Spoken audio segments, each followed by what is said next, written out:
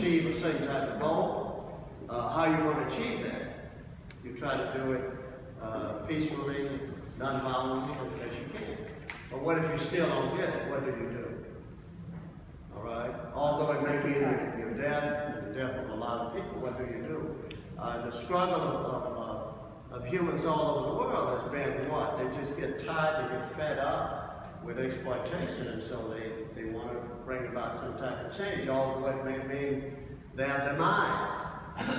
They're still willing to go and, okay, make that sacrifice, so maybe somebody else coming after them, you know, things would be open, and things would be wiped out, but they wouldn't have to go to that extreme. All right, uh, anything? Did you get to meet King?